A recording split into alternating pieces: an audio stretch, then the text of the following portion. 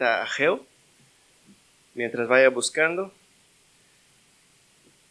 hoy nosotros vamos a estar hablando de la dedicación que nosotros debemos de tener para con el Señor. Y de hecho el título del sermón es Dedicados al Señor. Nuestra dedicación, nuestra mayor dedicación, ¿no? Tiene que ser para nuestro Dios. Eh, y a veces nosotros invertimos, eh, invertimos esto y hacemos de la dedicación a nuestro Dios, hacemos dedicación para nosotros mismos. Eh, y es algo que nosotros debemos de cambiar, cambiar esto. Si debemos estar dedicados, debemos estar dedicados primeramente, primeramente a nuestro Señor, luego a nosotros. Amén. ¿Están ahí? Bueno, como es un libro muy pequeño, es más difícil de ser encontrado, pero cuando esté ahí, conteste con un amén y ya vamos a estar leyendo dos versículos, versículo 1 y 2. Amén. ¿Está ahí? Así dice la palabra del Señor. El año segundo de rey Darío, en el mes sexto, el día primero del mes vino la palabra del Señor por medio del profeta Ageu. A Zorobabel, hijo de Salatiel, gobernador de Judá, y al sumo sacerdote Josué, hijo de Josadac, diciendo, Así dice el Señor de los ejércitos, este pueblo dice, no ha llegado el tiempo, el tiempo de que la casa del Señor sea reedificada. Amén. Hasta ahí hacemos una oración, hermanos, e entregamos este tiempo al Señor. Señor, te damos la gracia, Señor, a ti. Toda la honra, Señor, toda la reverencia, Señor, que nosotros debemos de tenerte en este momento, Señor. Que nuestra prioridad sea su palabra, sea escucharte a ti, Señor, sus consejos, sus mandamientos, todo lo que tiene para nosotros, Padre, estamos aquí dispuestos a recibir, Señor, y poner en práctica, Padre. Te damos las gracias por tener esta oportunidad, de tener este día para estar en su casa, Señor, en medio, juntamente con nuestros hermanos en comunión para escucharte, Padre. Es un privilegio para nosotros, Padre, estar aquí y tener delante de nosotros su palabra, su santa palabra verdadera para nuestras vidas. Te pedimos, Señor, que estas palabras queden en nuestros corazones, Padre. Que no escuchemos solamente esta palabra, pero que esta palabra de fruto, Señor que esta palabra entre en nosotros, Padre, y que nosotros salimos de aquí, Señor, con su palabra en nosotros mismos, Padre. Te damos las gracias, Señor, en el nombre de Jesús. Amén. Amén. Amén. Hermanos, en estos dos primeros versículos nosotros vemos una cosa. El Señor envía un mensaje a este pueblo. El Señor envía al profeta Geo a hablar a este pueblo.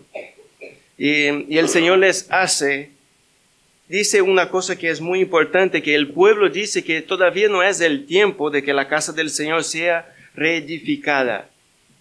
El Señor está llamando a este pueblo a parar un momento porque ellos no estaban poniendo en el Señor, poniendo directamente en Dios para hacer su obra. Ellos habían olvidado del Señor y había puesto todos sus esfuerzos, todo lo que ellos hacían era para ellos mismos, para sus casas, para sus familias, para cosechar, para plantar, para hacer sus cosas, para trabajar la tierra, para hacer estas cosas y había olvidado de la casa del Señor. Y el profeta Geo llega en este tiempo y habla al gobernador de Judá, Zorobabel, y también habla al sumo sacerdote Josadac. Y dice que el pueblo había dicho, no ha llegado el tiempo. Y el tiempo sí que había llegado. Había llegado hace más de 20 años atrás. Este pueblo estaba en esta tierra, había llegado para hacer la reconstrucción del templo desde hace 20 años. Y el profeta Geo llega después de 20 años y la casa del Señor todavía está por hacer, está por ser reedificada. El pueblo había dejado de reconstruir la casa del Señor. Tanto que el Señor envía a este profeta a hablar a este pueblo, hablar a este pueblo que dice que no ha llegado el tiempo todavía. Y nosotros, hermanos, a veces dejamos al Señor. de un lado. Decimos, todavía no es tiempo para buscar al Señor, todavía no es tiempo para que me dedique más a las cosas del Señor. Y nos dedicamos a nuestras cosas, a nuestras casas, a nuestras familias, que no está mal dedicarnos a, nuestras casas, a nuestras familias, a esposas, a hijos, al trabajo, no está mal. Pero lo que no podemos hacer es olvidar de estar dedicados a las cosas del Señor. Así que después de leer estos dos versículos, vamos un momento en el, en el libro de Esdras. Vamos en Esdras, que nosotros nos vamos a dar cuenta de algo muy importante. Esdras capítulo 1 y a partir del versículo 1, luego volveremos a, a Geo, no de vista. Amén. Esdras capítulo 1, versículo 1 en adelante, cuando esté ahí conteste con amén y ya daremos inicio a la lectura. Amén. Dice así, en el primer año de Ciro, rey de Persia, para que se, para cumpliera la palabra del Señor por boca de Jeremías, el Señor movió el espíritu de Ciro, rey de Persia, y éste hizo proclamar por todo su reino y también por escrito diciendo, Así dice Ciro, rey de Persia, el Señor, el Dios de los cielos, me ha dado todos los reinos de la tierra, y él me ha designado para que le edifique una casa en Jerusalén, que está en Judá. El que de entre todos vosotros pertenezca a su pueblo, sea su Dios con él, que suba a Jerusalén, que está en Judá, y edifique la casa del Señor, Dios de Israel. Él es el Dios que está en Jerusalén y a todo sobreviviente en cualquier lugar que habite, que los hombres de aquel lugar lo ayude con plata y oro, con bienes y ganado, junto con una ofrenda voluntaria para la casa de Dios que está en Jerusalén.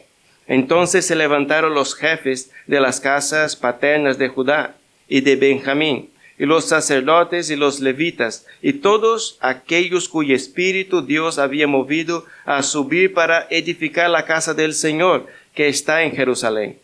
Y todos los que habitaban alrededor de ellos les ayudaron con objetos de plata, con oro, con bienes, con ganado y con objetos preciosos, además de todo lo que fue dado como ofrenda voluntaria.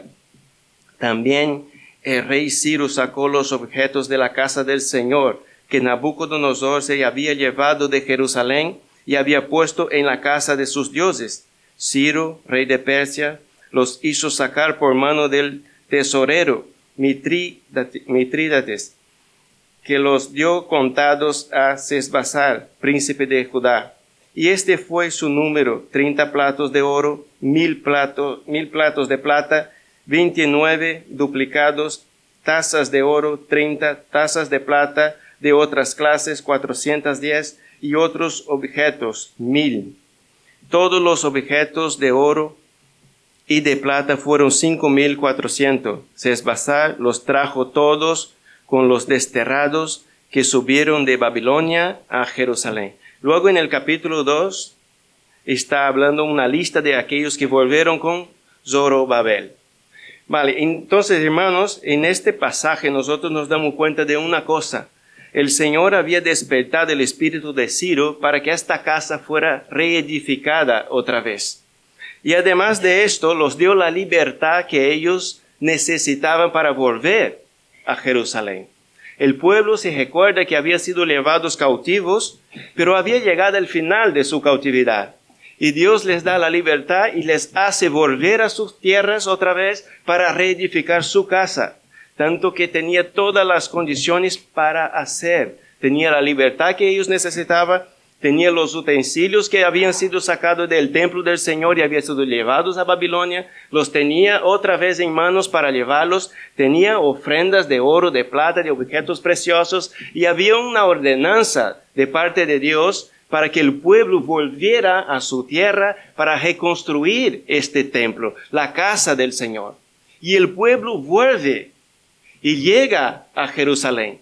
Y está ahí el pueblo y empieza a hacer la obra de la casa del Señor, por, pero por motivos diversos o por miedo, por dificultades, por los enemigos, ellos dejan la casa del Señor por hacer, por la mitad.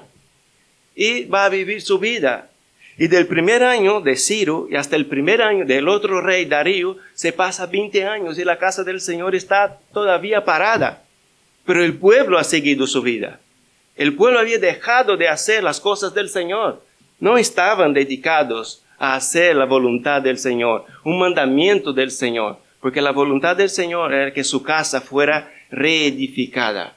Y les dio todas las condiciones para esto les dio todas las condiciones, la libertad que ellos necesitaban, todas las condiciones financieras, tenía el oro, la plata, tenía todo. Todas las ofrendas el Señor había puesto a la disposición de este pueblo.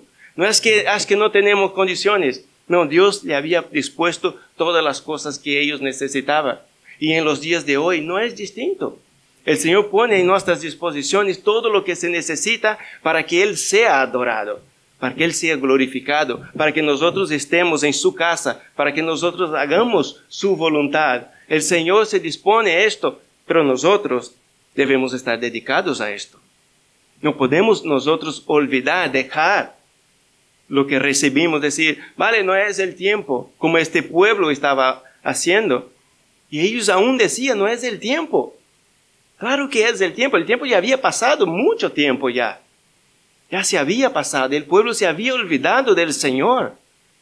Entonces la pregunta que me, que me hacía es, ¿dónde estaba Dios en la vida de esta gente? ¿Cuáles, ¿Cuáles eran las prioridades de este pueblo? ¿En qué se dedicaban este pueblo? ¿Cómo era su día, su día a día? Cada día que el Señor les regalaba, ¿qué hacían de este día? No estaban dedicados al Señor. Imagina, hermanos, este templo fue construido por el rey Salomón y dice que ahí en el día de la edificación de la que estaba que había terminado el templo dice que después de la oración de Salomón la gloria de Dios llenó este templo. Dice que llenó la casa. Dios se hizo presente en este lugar. Y era el lugar que Dios se manifestaba físicamente con señales con maravillas en, en medio de su pueblo. Y lo que Dios estaba ofreciendo a este pueblo era esto, su presencia en medio de ellos. Pero tenía que construir, tenía que trabajar, tenía que estar dispuestos, tenía que estar dedicados al Señor. Una cosa, hermanos, que nosotros debemos saber, el tiempo en que nosotros vivimos. Este, este pueblo vivía en un tiempo en que la libertad llegó hacia ellos. Eran cautivos y llegó el tiempo de la libertad. Y llegó el tiempo también de reedificar la casa del Señor. Llegó el tiempo de volver a su tierra. Este es el tiempo de este pueblo en que ellos deberían hacer la voluntad del Señor. Vale, somos libres. El Señor nos ha dicho para reconstruir el templo, para que Él se agrade. Luego vamos a continuar leyendo en el profeta Ageo, para que el Señor se agrade de esto para que el Señor se agrade de este pueblo, para que el Señor se manifieste en medio de su pueblo otra vez. Es este el tiempo que el Señor había preparado para este pueblo. Entonces, dedicar a hacer la voluntad de Dios y hacer lo que Dios quiere. Nosotros debemos saber el tiempo en que nosotros vivimos. ¿Para qué estamos aquí? Hay gente que no sabe. ¿Por qué estoy en este mundo? ¿Por qué estoy en este mundo? Tengo cuarenta y, tantos años y ¿qué hago para el Señor? ¿En qué me dedico para Dios? ¿Qué hago? Yo tengo que saber los tiempos, tengo que saber lo que Dios quiere de mí. ¿Qué, quiere el Señor de mí? ¿Qué, ¿Cómo me dedico a las cosas del Señor? Yo tengo que saber estas cosas. Yo tengo que saber. Tengo que saber que si soy un pastor me tengo que dedicar a los hermanos, a las personas necesitadas o a la iglesia. Tengo que estar pendiente de las cosas del Señor. Yo tengo que saber estas cosas, hermanos. Tengo que saber el tiempo en que yo vivo. ¿Cuál es el tiempo tuyo? ¿Qué quiere el Señor de ti? Hay gente que está en la iglesia y están perdidos. No sabe lo que, lo que están haciendo. No sabe para qué vive. No sabe para qué viene a la iglesia. No sabe. Y nosotros estamos llamados a saber el tiempo que nosotros vivimos. Mire el pueblo que salió de Egipto. Eran esclavos durante generaciones, pero llegó el tiempo de la libertad de ellos también, de ser llevados de Egipto a una otra tierra. Llegó este tiempo, pero no entendía, muchos querían que volver atrás. El Señor le había dispuesto un tiempo, sacarlos. La intención de ellos, de muchos de ellos, ¿cuál era? Volver atrás. Tenía que seguir adelante. Ellos deberían seguir adelante, no importa por dónde, si por caminos de desierto, de aguas, de que tenía abundancia o no. El Señor les envía, pues ahí vamos. El Señor envía por desiertos, por ahí pasamos. El Señor nos envía por verdes pastos, gloria a Dios, por ahí pasamos dando glorias al Señor. Pero debemos saber el tiempo de Dios para nuestras vidas y aceptar los tiempos del Señor en nosotros. Y es algo que el pueblo no acaba de, entender este, este misterio, podemos decir así, quizás. ¿no? El tiempo que Dios tiene preparado para ti, a veces estamos pasando momentos de, pruebas, momentos difíciles en nuestras vidas, y quizás es el tiempo que el Señor nos preparó. Que miro mi vida y digo, oye, que no es un pecado que estoy cometiendo, que no estoy haciendo las cosas así tan mal, estoy buscando al Señor, pero estoy pasando momentos difíciles. Es este tiempo que el Señor nos dispuso. ¿Y qué tenemos que hacer? Pues pasarlo. Pues pasarlo glorificando al Señor. Pues es el tiempo del Señor, que me pase esta enfermedad, que pase momentos difíciles, financieros, lo que sea en mi vida, pues gloria a Dios, el Señor está conmigo, voy a pasar. No voy a volver atrás. Imagina que el pueblo podría decir, vale, es el tiempo que el Señor dispuso para nosotros salir de Egipto y llegar a una tierra que emana leche y miel. Pues entonces vamos. No importa si pasamos por el mar, si pasamos por el río, si pasamos por el desierto, importa que este es el tiempo del Señor. Seguimos adelante. Pero el pueblo que hizo quería volver. Cuando llega y envía los espías, el momento de, de, ser valiente, de tener fe en el Señor, es el momento, ¿verdad? Es decir, confianza en Dios. Vamos a confiar en el Señor. El Señor nos trajo hasta aquí, pues podemos en el nombre de nuestro Señor, del Señor de los ejércitos, pues vamos adelante. ¿Qué hace? Tiene temor. No era el tiempo del temor, era el tiempo de la valentía. El tiempo de la valentía. Que ves personas mucho más numerosas que ellos, mucho más altas que ellos, más poderosas, bien armados, sus ciudades amuralladas, y ellos por fuera como langostas, como, como han dicho algunos de los espías, pero no era el tiempo de tener temor. Era el tiempo de ser valiente, sin importar lo que está por delante. Porque si nosotros confiamos en el Señor, pues el Señor puede todas las cosas. Y el pueblo no ha sabido, no, ha visto, no se ha dado cuenta del tiempo en que estaba viviendo. Y nosotros debemos saber. Y este pueblo tampoco se enteró del tiempo que Dios les había dispuesto, que era tener la libertad volver a su tierra, reedificar el templo del Señor y que el Señor se agrade otra vez de esta casa. Ellos se fueron. Volvemos a Ageo. Volvemos ahí y ahora vamos a leer a partir del versículo 3 en adelante y vamos a leerlo hasta el versículo 11. Amén.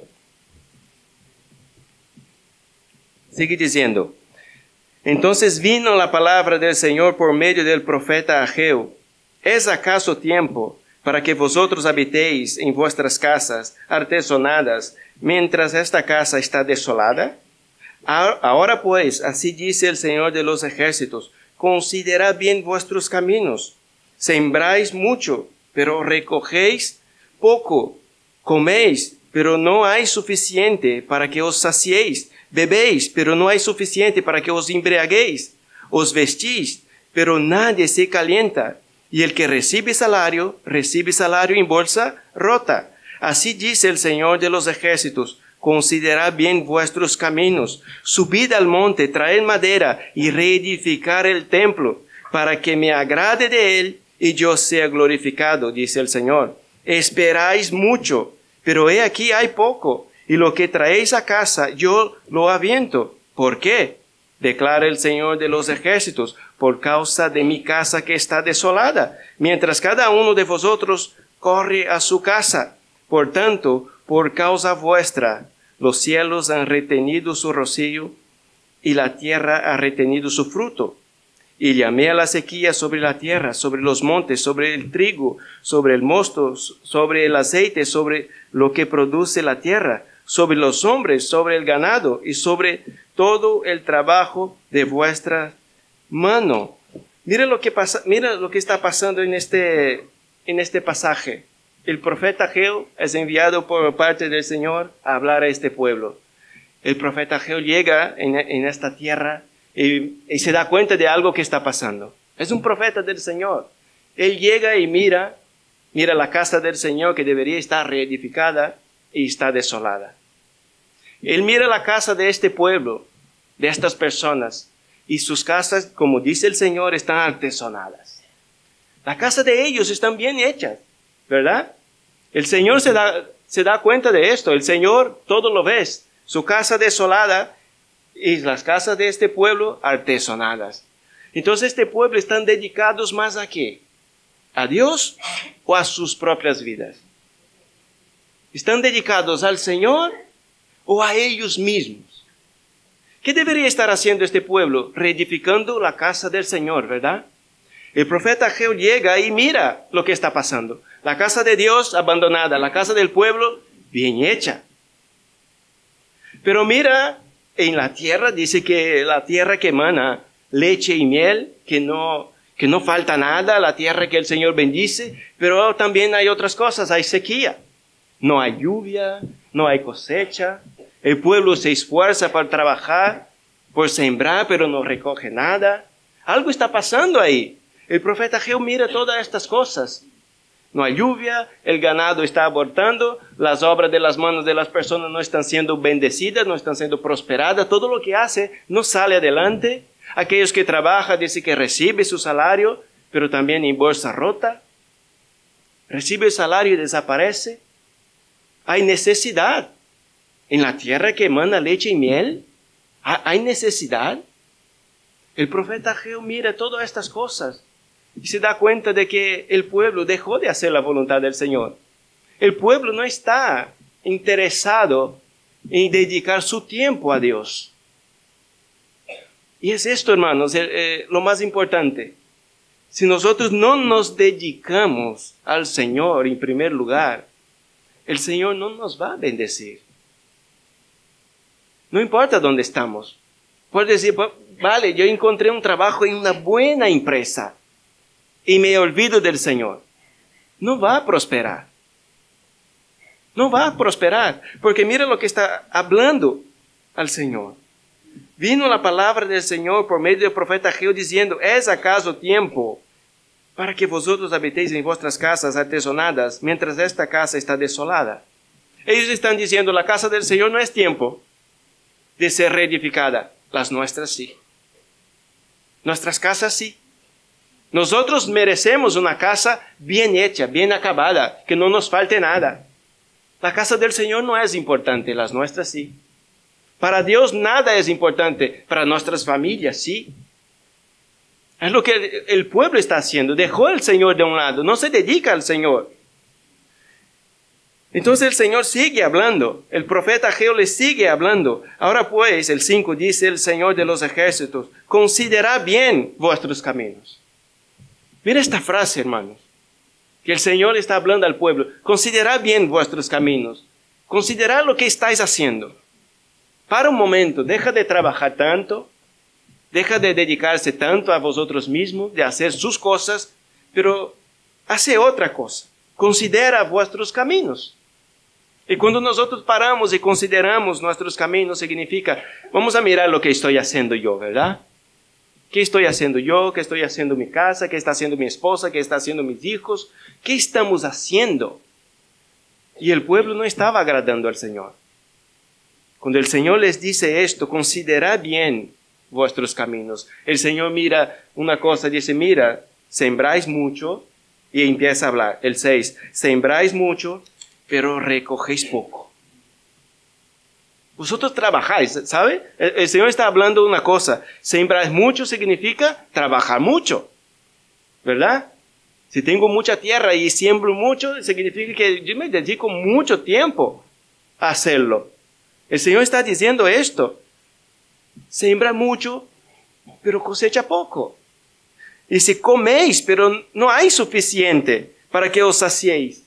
Todo lo que recoge de la tierra, todo lo que trae a casa, come, pero no, no estáis saciados. No, no, no, no hay satisfacción.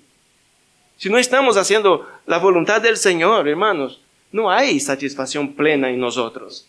No podemos estar satisfechos. No podemos estar gozosos. No podemos, es imposible. Dice, bebéis, pero no hay suficiente para que os embriaguéis. Dice, os vestís, pero nadie se calienta.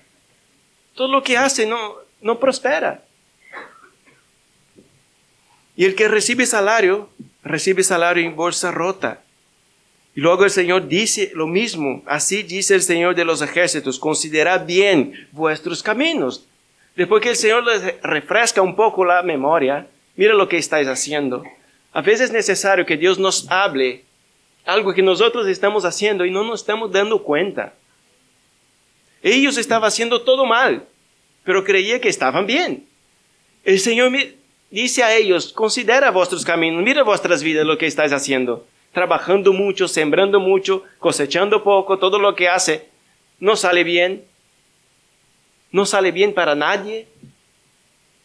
Estáis en confusión, no entendéis nada, no hay lluvia. Siembra, pero la semilla no, no, no germina, queda en la tierra porque no llueve. Considera bien lo que estáis haciendo. Hermanos, vamos a, mirar ahora a nosotros. Nosotros sabemos que esto pasó y esto es una verdad, pero miremos a nosotros mismos. ¿Dónde están nuestros esfuerzos? ¿Qué estamos haciendo? Somos personas que podemos hacer muchas cosas y de ahí podemos sacar nada. Podemos estar dedicados, si no estamos dedicados al Señor, vamos a estar dedicados a nosotros mismos. O, nos dedicamos a Dios en primer lugar y olvidamos un poco de nosotros e intentemos, hermanos, tener más fe en el Señor, porque el Señor dice, si uno busca su reino primeramente, el reino del cielo y su justicia, todas las cosas serán añadidas. Significa que nosotros debemos buscar las cosas del Señor en primer lugar. Pero nosotros no creemos esta, este pasaje. De verdad, muchas veces la mayoría de nuestro tiempo, de nuestras vidas, no creemos, un día aprenderemos, estoy seguro que sí, que en nombre de Jesús un día aprenderemos que nosotros debemos invertir nuestro tiempo para el Señor, para hacer su voluntad y no para hacer la nuestra misma. Un día vamos a aprender y nos vamos a dar cuenta de todo el tiempo que hemos perdido haciendo las cosas para nosotros mismos, para sacar nuestro sustento, nuestra casa adelante, nuestra familia, para estudiar a nuestros hijos, porque creemos que todo depende de nosotros y tenemos que trabajar mil horas al día, porque si no, no es suficiente. Un día vamos a aprender esto, que nos vamos a dedicar al Señor y el Señor nos va a prosperar. Nos dedicaremos al Señor y el Señor no nos va a abandonar. Pues mira cómo era antes. Dice que el pueblo trabajaba la tierra seis años. El séptimo año, el Señor decía al pueblo, pues este año es el año de descanso de la tierra. Y no les faltaba nada. Estaba un año sin hacer nada. Y no les faltaba nada. A partir del momento que el pueblo llegó, trabajó los seis años y dice, pues, ¿qué voy a comer? Pues voy a trabajar este año. El Señor dice que no, pero voy a trabajar. Las cosas no fueron bien al pueblo. El pueblo empezó a hacer estas cosas, le faltó la fe, la confianza, tanto que fueron llevados cautivos por 70 años, dice, para que la tierra pudiera descansar este tiempo todo, que ellos no habían dado descanso a la tierra. Un día pagaremos, hermano. Ellos trabajaron, pero un día llegó el día que el Señor dice, vale, ahora cautivos, 70 años, porque estos cuatrocientos tantos años vosotros habéis estado trabajando el séptimo año. No habéis dado descanso a la tierra. La tierra necesita 70 años ahora de descanso. Pues vosotros en esta tierra es imposible que los haga. Entonces, al cautiverio 70 años, para que la tierra pudiera tener su descanso. Un día aprenderemos y el Señor nos va a requerir, el Señor nos va a cobrar, hermanos lo que estamos haciendo para nosotros mismos y olvidando de hacer para el Señor. Un día llegará el tiempo para nosotros, pero creo que también aprenderemos. Estoy seguro que aprenderemos a estar dedicados nuestro tiempo al Señor. Primeramente al Señor, luego para las cosas. Porque así dice la palabra, ¿no? Buscar el reino del cielo y su justicia y las demás cosas. Son cosas. Y son cosas. El Señor les llama cosas. Entonces, debemos aprender esto. Ellos habían dejado al Señor, dejado de, de hacer la voluntad de Dios, lo que Dios había pedido a ellos. Había dispuesto el corazón de un rey para dar la libertad a este pueblo. Había movido el corazón de este rey para, oye, todos los utensilios de la casa que los devuelva. Y lo devolvió. Las ofrendas, todo lo que necesitaba para el templo, también ofrenda. Todo lo que este pueblo necesita para reedificar la casa, lo tiene. ¿Y dónde habían puesto esas cosas? En sus propias casas, ¿verdad? Porque no estaba en el templo guardado todo, todo lo que ellos habían llevado. Todo lo que Dios había preparado para ellos, para construir el templo que había hecho. Para, para ellos mismos, ¿verdad? El ganado que había recibido de ofrenda, la madera, los objetos, cosas preciosas, oro, plata. ¿Qué había hecho este pueblo? Gastado. No estaban guardados, el templo estaba abandonado. Todo lo que Dios había preparado para su casa estaba puesto en sus casas artesonadas. ¿Cómo estarían las casas de ellos artesonadas? ¿Verdad? Ellos habían gastado las cosas del templo para sus propias casas. Ellos habían abandonado al Señor completamente. No se dedicaron al Señor. No se dedicaron. Otra vez el Señor dice en el versículo 7, así dice el Señor de los ejércitos, considera bien vuestros caminos. Mira lo que estoy hablando a vosotros. Mira lo que está pasando.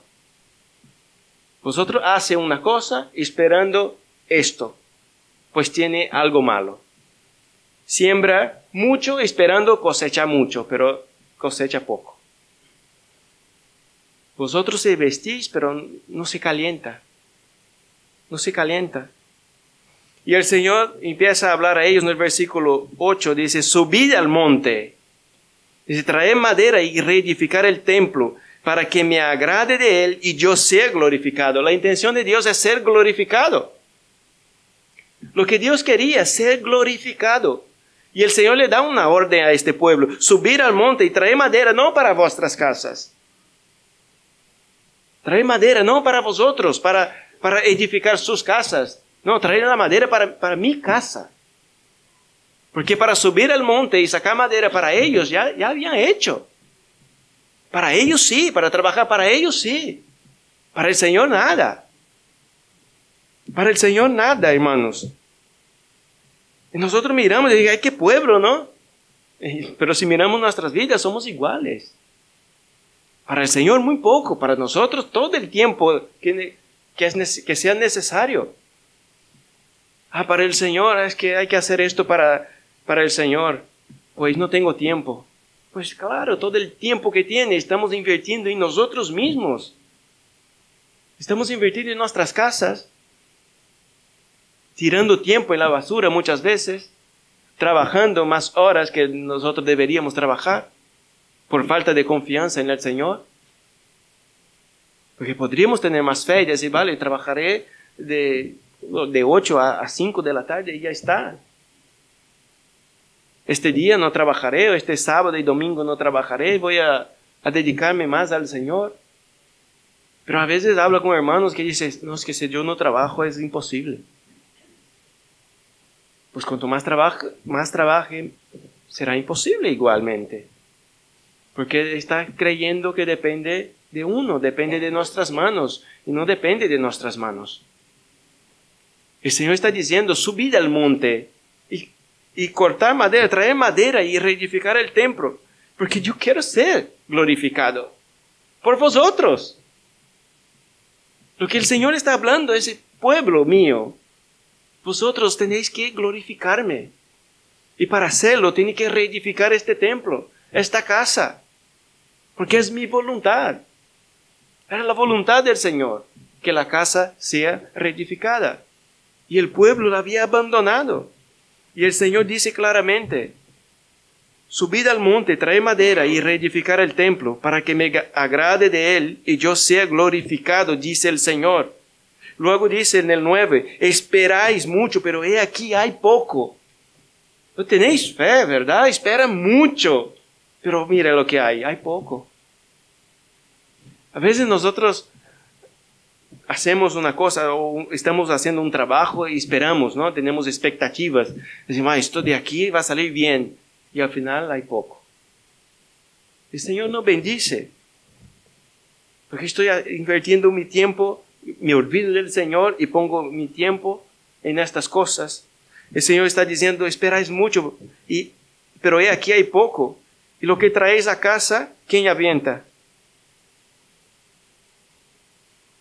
¿Quién avienta, hermanos? El Señor. Lo que trae a casa, el Señor se encarga no de bendecir lo que trae a casa.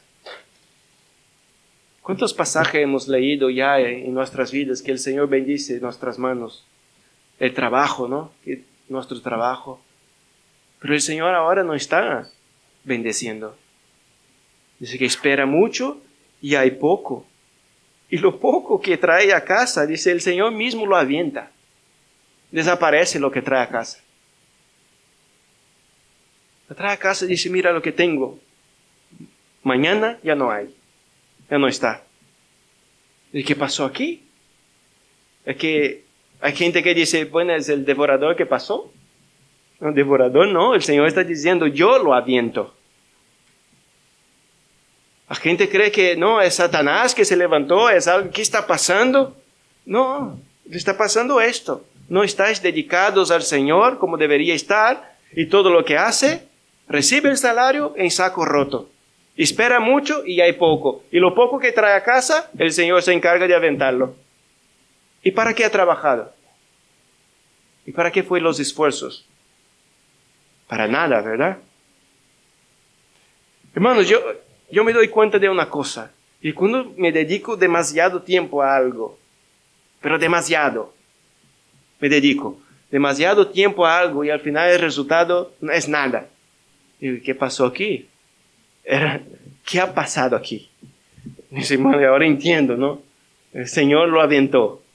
Entonces, todo este tiempo dedicado, que no fue para el Señor, fue para mí, todo el tiempo dedicado, que ya duró meses, este tiempo dedicado. No fue una semana, ah, una semana, pues no pasa nada. Una semana es muy poco pero si es meses dedicado a algo y al final, cuando lo miro, está avientado por el Señor, dice que no hay nada, no, me sobró nada, no, no, hay, no me quedó nada. ¿Y qué ha pasado aquí? sería mejor estos meses no haber hecho nada, que estaría en la misma situación, ¿verdad? yo llegué a esta conclusión.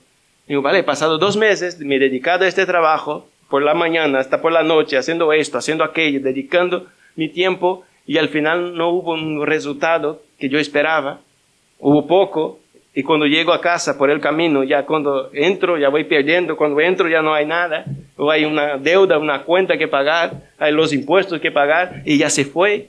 Y uno dice, pero ¿para qué fue este tiempo? Pues sería mejor pasar dos meses sin trabajar, pues estaría mucho más avivado buscando al Señor. Podría estar más con los hermanos, más en la iglesia, haciendo la obra del Señor y estaría en la misma situación que estoy hoy. Pero no, todo el tiempo dedicado, tirado a la basura. Y lo que yo había creído haber ganado, el Señor lo aventó cuando llegué a casa. El Señor lo aventó. El Señor mismo se encarga de hacerlo. No es el devorador, no es que pasó el, el, el migrador, que pasó algo, el gafañoto, lo que sea. No es, hermanos es el Señor para que me, despierte, para que mire, para que mire a Él y qué está pasando. Y el Señor me diga, me ha dejado. Te dedicas a ti, no a mí. ¿Qué quiere? ¿Que te bendiga, que te bendiga las obras de tus manos? ¿Que te bendiga su, su trabajo? ¿Qué quiere que haga? Me ha dejado. ¿Habéis pasado esto ya? ¿Vosotros solo yo? Vale, muchos, ¿no? Muchos hemos pasado por esto. Cuando llegamos a casa ya no tenemos nada. Entonces el Señor sigue hablando. ¿Por qué? Hay un motivo. ¿Por qué el Señor hace estas cosas? El Señor no hace por, por hacerlo, porque le dice, ah, a este, todas sus ganancias fuera. No, no es por esto. ¿Por qué? Dice, declara el Señor de los ejércitos, por causa de mi casa que está desolada mientras cada uno de vosotros corre a su casa. Por esto, El Señor quería del pueblo que su casa fuera reedificada. Dice, mi casa desolada y cada uno de vosotros corre a su casa. Esto no me agrada. Y el pueblo no se dio cuenta de esto. No se dieron cuenta de lo que estaba pasando. Porque no estaban dedicados al Señor. Hermanos, ¿cuándo vamos a aprender esto? ¿A cuánto tiempo pasó esto? A muchos tiempos. A mucho. Y nosotros continuamos iguales.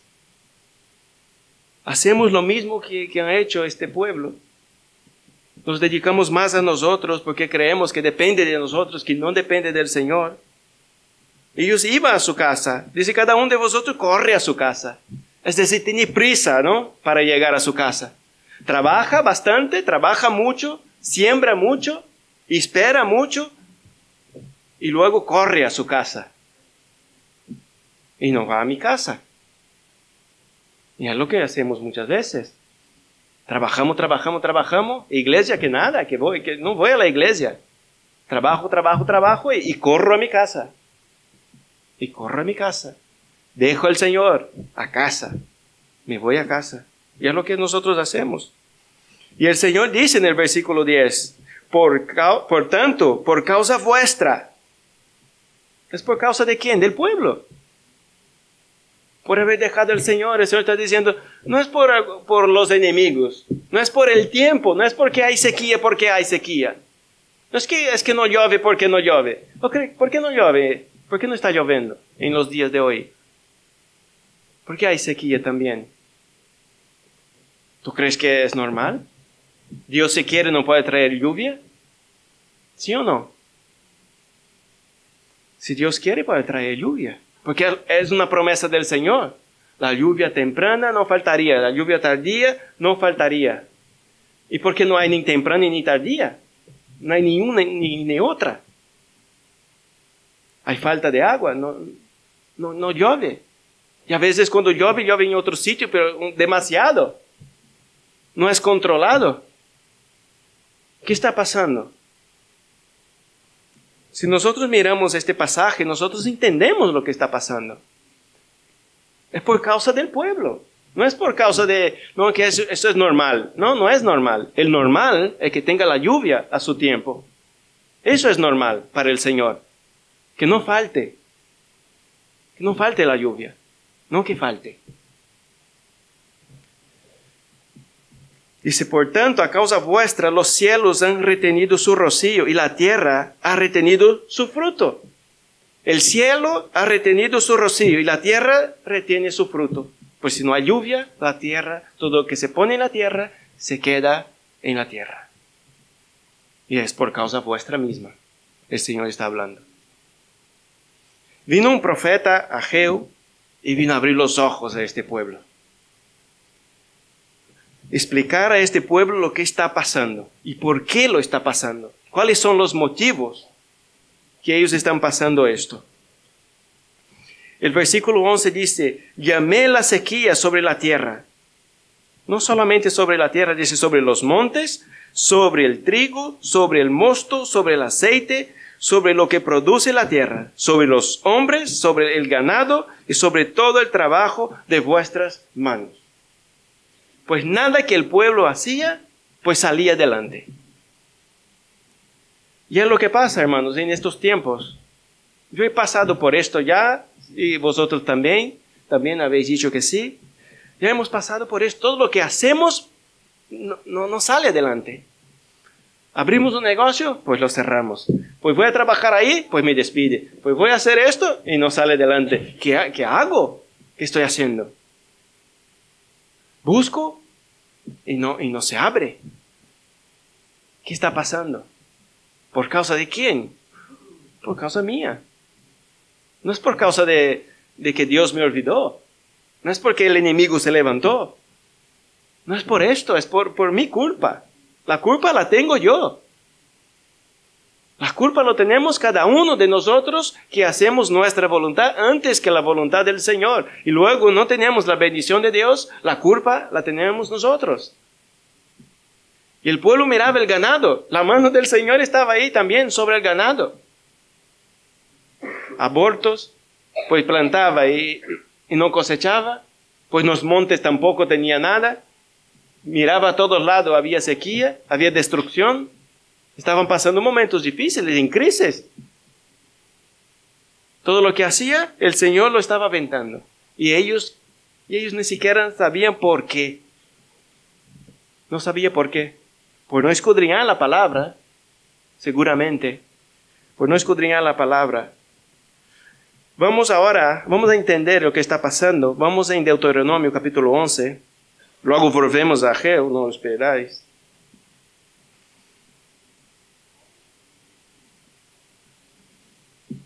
Deuteronomio capítulo 11.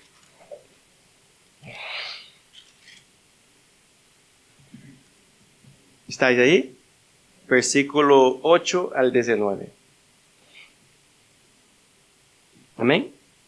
Dice así, guardad pues todos los mandamientos que os ordeno hoy, para que seáis fuertes y entréis y toméis posesión de la tierra a la cual entráis para poseerla para que prolonguéis vuestros días en la tierra que el Señor juró dar a vuestros padres y a su descendencia, una tierra que emana leche y miel. Mire cómo el Señor está describiendo la tierra, una tierra que emana leche y miel. El 10 dice, porque la tierra a la, a la cual entras para poseerla no es como la tierra de Egipto, de donde vinisteis, donde sembra, sembrabas tu semilla y la regabas con el pie, como una huerta de hortalizas. Mira la comparación que el Señor está haciendo. La tierra donde vais no es, no, es como la tierra de Egipto. Que ahí tendría que hacer de esta manera. Donde vais vosotros no es así. Es una tierra mejor. Que no hay comparación. No tenía comparación. No es como una hortalizas, sino que el 11, sino que la tierra a la cual entráis para poseerla tierra de montes y valles, bebe el agua de las lluvias del cielo. Mira la tierra como es. Pero no había, ¿verdad? En el tiempo de este pueblo la, lluvia no, no tenía. El Señor está dando la descripción de la tierra. Bebe el agua de la lluvia del cielo. Es una tierra que el Señor tu Dios cuida. ¿Entiende lo que está pasando?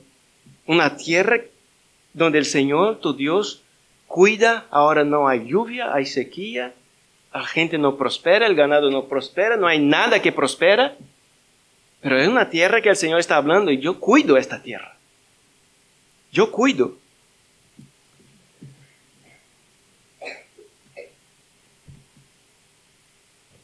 Es una tierra, el 12 estamos, es una tierra que el Señor tu Dios cuida. Dice, los ojos del Señor tu Dios están siempre sobre ella desde el principio hasta el fin del año. El Señor está hablando, estoy con mis ojos puestos en esta tierra desde el principio hasta el final para cuidar esta tierra, para que tenga la lluvia, para que no falte nada, para que no sea una tierra como la tierra de Egipto, donde estabais antes. Es otra tierra. Yo estoy ahí, el cuidado es mío. Lo que el Señor está hablando a este pueblo. El 13 dice, y sucederá que si obedecéis mis mandamientos, que os ordeno hoy, de amar al Señor vuestro Dios y de servirle con todo vuestro corazón y con toda vuestra alma, Él dará a vuestra tierra la lluvia a su tiempo. Que está, mira la promesa del Señor que no faltaría la lluvia. Les daría la lluvia a su tiempo. Pero el Señor también pide a este pueblo que sean fieles, que cumplan los mandamientos, ¿verdad? El Señor no está haciendo una promesa, pues vive de cualquier manera y yo hago, así porque la tierra es buena. No, el Señor no está diciendo esto.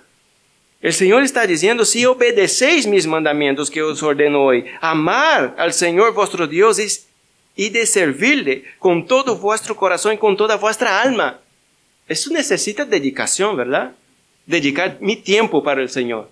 Si yo quiero amar al Señor, obedecer al Señor con todo mi corazón, con toda mi alma, yo tengo que dedicarme a este Dios. Es que no puedo venir solamente a la iglesia y en mi casa olvidar del Señor.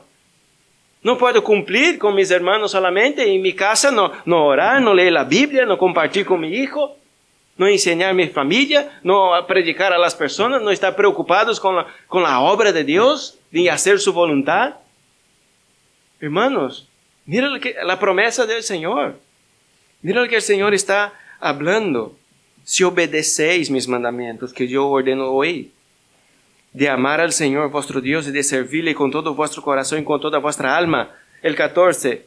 Él dará a vuestra tierra la lluvia a su tiempo, lluvia temprana y lluvia tardía, para que recojas tu grano, tu mosto y tu aceite. ¿Por qué no recogía este pueblo? Porque no había la lluvia. Y ellos tenían necesidad de qué? De estas cosas. Del grano, del mosto, del aceite. El 15 dice, y él dará hierba a tus campos para tu ganado y comerás y te saciarás.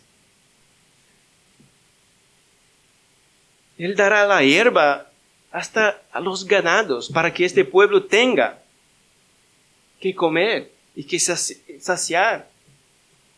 Pero dice que ellos hacían y no, y no estaban bien con nada, ¿verdad? Comía y no se saciaban. Porque habían dejado al Señor. El 16 dice, cuidaos, no, cuidaos, mira la advertencia del Señor. No sea que se engañe vuestro corazón y os desviéis y sirváis a otros dioses y los adoréis no sea que la ira del Señor se encienda contra vosotros y cierre los cielos y no haya lluvia, y la tierra y no produzca su fruto, y pronto perezcáis en la buena tierra que el Señor os da. Mira el peligro, hermanos, de no olvidar al Señor, de no eh, tener nuestros corazones que nos engañe, que no nos engañen nuestros corazones y olvidemos al Señor y servir a otros dioses y el Señor cierre los cielos y no tenga la lluvia. Y era lo que estaba pasando con este, con este pueblo. Pero lo que a mí me llama la atención, dice, y pronto perezcáis. ¿Perezcáis dónde? En la buena tierra que el Señor, su Dios, te da. Podemos estar en el mejor lugar no, Dios me ha puesto. Pero si yo no obedezco al Señor, si yo no amo al Señor, si no me, no me dedico al Señor, ahí voy a perecer. Yo voy a perecer ahí, como si estuviera viviendo en un desierto. Puedo estar en la tierra que emana leche y miel, que no falte la lluvia, pero si yo no obedezco al Señor, será como vivir en el desierto sin la presencia de Dios. El 18 dice así, Grabad pues estas mis palabras en vuestro corazón y en vuestra alma, atadlas como una señal a vuestra mano y serán por insignia entre vuestros ojos. El 19. Y enseñadlas a vuestros hijos, hablando de ellas cuando te sientes en tu casa y cuando andes por el camino, cuando te acuestes y cuando te levantes. El deber del pueblo era obedecer al Señor y enseñar a sus hijos para que sus hijos hicieran lo mismo y nunca les faltase nada. Una advertencia del Señor, pero el profeta Geo llega e encuentra otra cosa. Encuentra sequía en una tierra que manda leche y miel. ¿Qué está pasando? El profeta Geo creo que no entendía, miraba las promesas del Señor y dice, pero no faltaría la lluvia. No faltaría la lluvia ni la, temprana ni la tardía. Dice que los ojos del Señor estarían ahí mirando todo el año, del principio hasta el final. El Señor iba a cuidar a esta tierra. Iba a cuidar también a los ganados, dando el alimento, dando hierba para este ganado. El Señor había hecho esta promesa, no es posible que el Señor falle, ¿verdad? Pero el Señor no falla, el Señor es fiel, el Señor cumple sus promesas.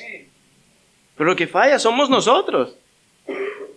Luego no, miramos y, no, hay la, no está la bendición del Señor. Nosotros decimos, Señor, ¿por qué no estoy bendecido? Pues más bien, más bien debemos considerar nuestros caminos, como dice la palabra. ¿Qué te, ¿Por qué te pasa cosas que no están bien? ¿Por qué sufre? ¿Por qué está pasando momentos difíciles? Voy a preguntar al Señor. No, antes de preguntar al Señor, mira sus caminos. Mira lo que estás haciendo. ¿Qué estás haciendo? ¿Se dedica más a ti mismo o al Señor? Pues me dedico a mí, pues está pasando esto por esto. Pues me dedico más al Señor. y ya verás cómo las cosas cambian. No es, que voy a buscar al Señor porque no entiendo. No, hermanos, considerad nuestros caminos. Vamos a considerar nuestros caminos primeramente. Vamos a mirar nuestras vidas que estamos haciendo. Vamos a mirar nuestras prioridades. ¿Cuáles son? Mi tiempo, ¿dónde lo invierto? ¿Qué hago? ¿Dónde está mi corazón? ¿A quién amo? Pues si yo amo al Señor más que todas las cosas, el Señor va a cumplir su palabra. Pero si yo dejo al Señor y empiezo a amar otras cosas, el Señor no va a cumplir su palabra. Porque Él es fiel. Y de Él depende todas las cosas. Amén. Volvemos a Ageo.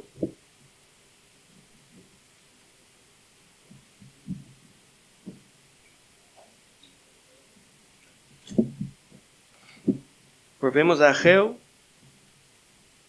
y vamos a leer del 12 al 15, capítulo 1, versículo del 12 al 15. Dice, y Zorobabel, hijo de Salatiel, el sumo sacerdote Josué, hijo de Josadac, y todo el remanente del pueblo obedecieron la voz del Señor su Dios, y las palabras del profeta Ageo, como el Señor su Dios le había mandado, y temió el pueblo delante del Señor. Entonces Ageo, mensajero del Señor, por mandato del Señor, habló al pueblo diciendo, Yo estoy con vosotros, declara el Señor. Y despertó el Señor el espíritu de Zorobabel, hijo de Salatiel, gobernador de Judá, el espíritu del sumo sacerdote Josué, hijo de Josadac, y el espíritu de todo el remanente del pueblo, y vinieron y comenzaron la obra en la casa del Señor de los su Dios, del Señor de los ejércitos, su Dios, el día 24 del mes sexto, en el año segundo de rey Darío. Mira lo que pasó después de esto. Dice que el pueblo temió. Y después que el pueblo temió, el Señor dice, yo estoy con vosotros. Siempre ha estado el Señor, ¿verdad? No, no significa que estoy pasando momentos malos, el Señor no está, no, el Señor está la causa de, esto. Por eso paso momentos malos, porque Él está. Y Él está cumpliendo su palabra en mí. No sé, ah, que el Señor no está, estoy pasando por eso. No, está pasando por esto porque el Señor está. Y está cumpliendo su palabra en mí, por ser desobediente, por no dedicarme a Él, dedicarme más a las cosas del mundo, dedicarme a mi casa, a mí mismo, con egoísmo, no pensar en Él, pues pasa estas cosas porque el Señor está. El Señor siempre está presente. No es que el Señor se va. El pueblo iba cautivo, ¿por qué? Porque el Señor se fue y dejó al pueblo solo. No, porque el Señor estaba y llamaba a otras naciones para llevar a este pueblo. Por esto mismo pasan las cosas. El Señor no nos abandona. El Señor dice algo. Yo estoy con vosotros, declara el Señor. Y el Señor despierta el espíritu de cada uno de ellos. Y a partir de ahí dice que ellos empiezan la obra en la casa de Dios ellos empiezan a hacer la voluntad del Señor, cosa que ya debería haber hecho 20 años atrás. Pero mira cuánto tiempo esperó el Señor, ¿verdad? Hermanos, yo no quiero estar haciendo algo que no agrada al Señor hoy y que tarde tanto tiempo para darme cuenta. ¿Te gustaría a ti? Mira, si tiene 40, un ejemplo. Yo digo 40 porque estoy en 40, por ahí. Pero mira, si tengo 40 y estoy mal, haciendo cosas mal, y el Señor espera 20 años, ¿sabes? Como en 20 años me daré cuenta. No es posible. Pero si, pero si no abro mi corazón, el Señor estaba, había hablado al pueblo, ¿verdad? No es que el pueblo estaba haciendo las cosas sin saber de nada, no, el Señor ya había dicho. El rey Ciro les había ordenado, es decir, todos los pueblos de aquí que vete a su tierra a construir y a edificar el templo. Y mira todo el oro, todas las condiciones, todo lo que necesitáis, pues lleváis. Ellos sabían. Si el Señor nos está hablando, si el Señor nos está hablando y nosotros no hacemos caso, el tiempo va a pasar. El tiempo va a pasar. Y yo no quiero perder tiempo. Yo no quiero llegar a los 60 y decir, pasó 20 años y ahora me, me he dado cuenta de esto que estaba haciendo mal. Yo no quiero, yo quiero que sea hoy. Yo quiero abrir mis ojos hoy.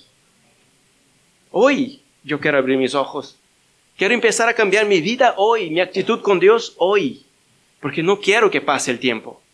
Porque si yo no me no pongo, hermanos, por ganas en esto, el tiempo va a pasar. Si yo no me esfuerzo, el tiempo va a pasar. Y luego el Señor me va a hablar por su misericordia, pero me daré cuenta que he perdido mucho tiempo. Y el Señor, para terminar, el Señor da ánimo a su pueblo. En el capítulo 2, el capítulo 2 de Ageo, versículo 1 al 9, y ahí terminamos, dice así, en el día 24 del mes séptimo vino la palabra del Señor por medio del profeta Ageo, diciendo, Habla ahora a Zorobabel, hijo de Salatiel, gobernador de Judá, y al sumo sacerdote Josué, hijo de Josadac, y al remanente del pueblo, diciendo, ¿quién ha quedado entre vosotros que haya visto este templo en su gloria primera? Mire que el Señor les hace una pregunta, muy interesante esta pregunta. ¿Y cómo lo veis ahora? Es como estaba antes y cómo está ahora. ¿Cómo lo ves? Tal como está, no es, no es como nada a vuestros ojos. Es como el templo era como nada, ¿verdad? Los que habían visto primero y cómo estaba y a los ojos del pueblo, es como, mira la casa del Señor. Mira, mira cómo está la casa del Señor, es como nada.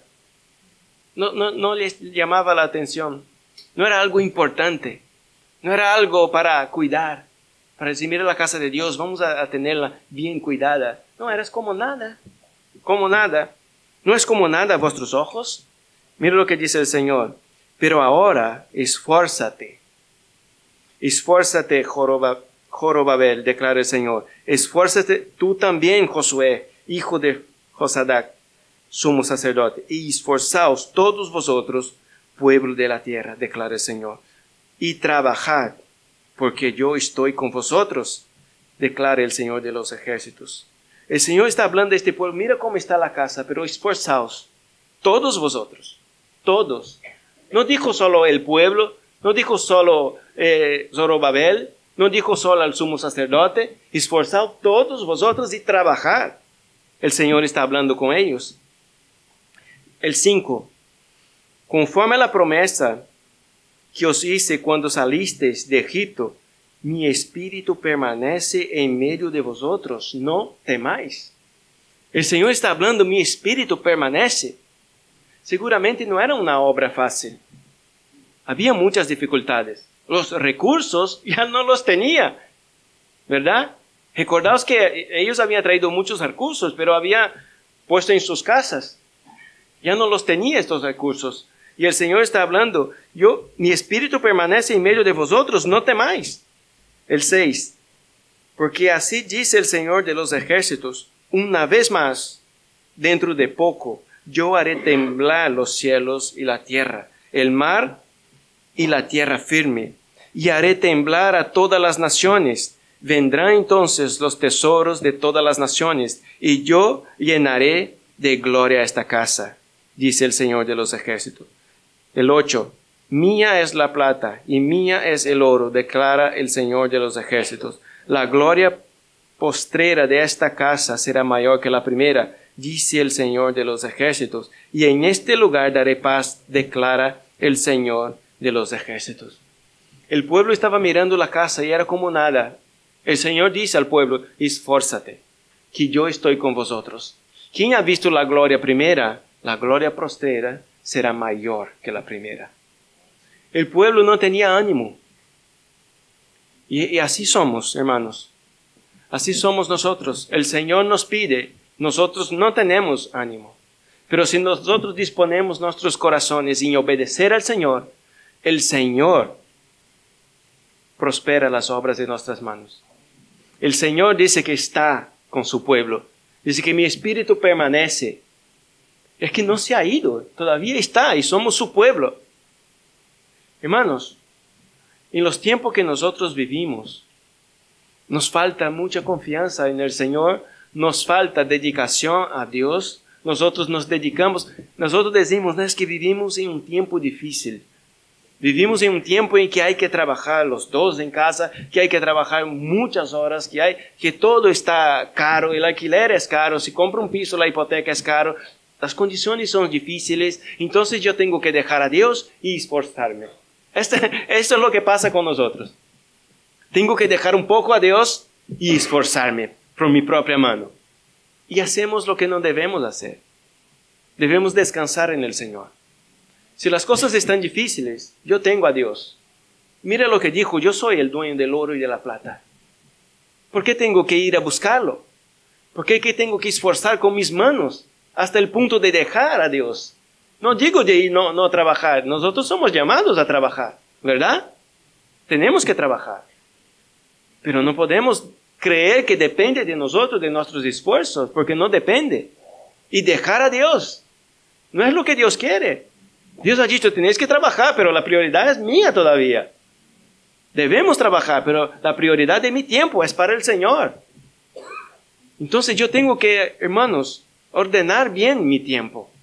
En mi casa, pues mi tiempo libre es para el Señor. Si, si llego a casa, digo, ah, ahora, ¿qué voy a hacer? Ah, voy a mirar unos videos, voy a mirar el Facebook, voy a mirar no sé qué. No, mi tiempo es para el Señor, porque esto me quita tiempo. Me quita tiempo. Esto me quita tiempo. Y luego uno pasa mirando, mirando, mira la foto que subió el hermano, mira esto, mira este hermano, mira este, mira este no conozco, mira este que me ha enviado una solicitud, voy a mirar, mira esto, y ya pasó el tiempo. El tiempo pasa. Y luego dice, pues ahora no tengo tiempo.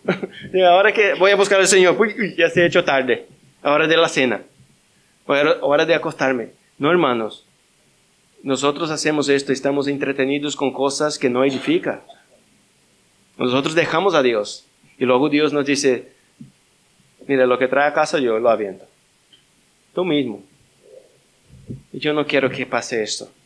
No quiero que vuelva a pasar esto en mi vida. Yo quiero que lo poco que pueda traer en casa sea con la bendición del Señor. Y con lo poco que nosotros podemos tener, el Señor multiplica.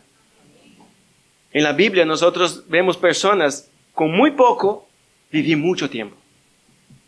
Personas que no tenían nada, el Señor multiplicar. No depende de lo que tenemos, depende del Dios que nosotros tenemos. Hermanos, aprendamos esto. Estemos más dedicados a Dios. Vamos a dedicar nuestro tiempo más a nuestro Señor.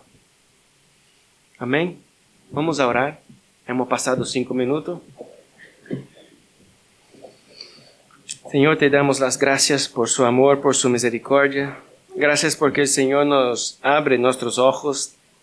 Estamos, Señor, muchas veces cegados. No entendemos las situaciones que nosotros vivimos y creemos, Señor, que el Señor no, no, está, nos, no nos bendice, el Señor ya nos dejó. Y justamente es al contrario, Señor. Todo nos pasa las cosas, Señor, porque nosotros dejamos de hacer su voluntad. Nosotros te ponemos en un segundo plan, Señor, en nuestras vidas, o tercero, cuarto, quinto, o a veces ni siquiera nos acordamos de ti, Señor.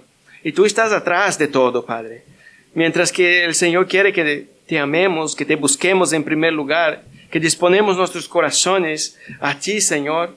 El Señor quiere estar en primer lugar en la vida de su pueblo. El Señor quiere estar presente y el Señor está presente en nuestras vidas, pero para bendecir a nosotros, no hacer con que nosotros tengamos necesidad, Señor. No hacer con que nosotros podamos trabajar horas y horas y horas y lo que traemos a casa sea aventado por ti mismo, Señor. El Señor quiere bendecir a su pueblo, pero el Señor quiere que tengamos una comunión sincera contigo, Padre, que es nuestro Dios y nuestro Señor.